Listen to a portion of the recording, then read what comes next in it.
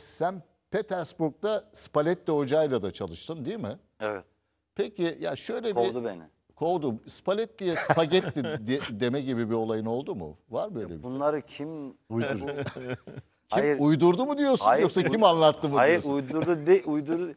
Yani nasıl olabilir yani bir insan yanlışta mesela diyelim ki spaletti değil de spagetti de denilmiş olabilir ama bunu Ha. belki bir arkadaşıma en fazla anlatmış olabilirim. Nasıl bu böyle kamuoyuna geliyor İki kişinin bildiği sır değildir. gibi oldu. Ama ama benim sorum biraz ortada kaldı. O söylendi mi söylenmedi mi? Abi hatırladım söyledim galiba. söyledim Kime galiba. söyledin peki bunu? Ona söyledim de şöyle. Hocana söyledin. Ee, işte dedim işte siz spagettisiniz diyene diyene kadar spagetti ağzımdan çıktı. Tekrar düzelttim tabii yani. Bunu da bir tane yakın arkadaşım anlattı. Bu nasıl buraya TRT stüdyolarına 15-20 yıl sonra geliyor? Ben anlamıyorum ki. o da enteresan.